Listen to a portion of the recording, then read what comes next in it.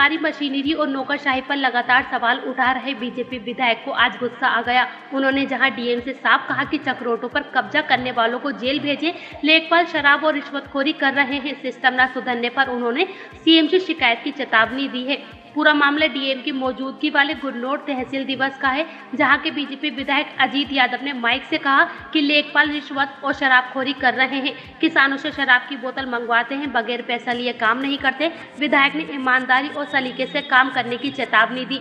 व्यवस्था न सुधरने पर विधायक ने नौकरशाही की मनमानी की सीएम से शिकायत करने की चेतावनी दी है।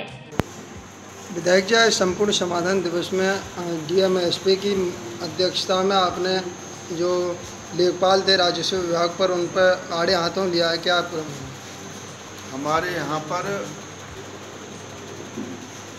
जो चक्रोट हैं, उनके झगड़े ज़्यादा हैं। इसलिए हमने बोला है कि जो चक्रोट की पैमाइश होनी चाहिए, जितने भी अवैध कब्जेदार हैं, वो हटने चाहिए। दूसरा, हमारे यहाँ पर गाय ज़्यादा खुली हुई घूम रही है। उनके लिए गौशाला बनवाने के लिए बोला है कि गौशाला बनवाई जाए। हर ब्लॉक में दो दो तीन गौशाला होनी चाहिए जिससे उनका समाधान हो।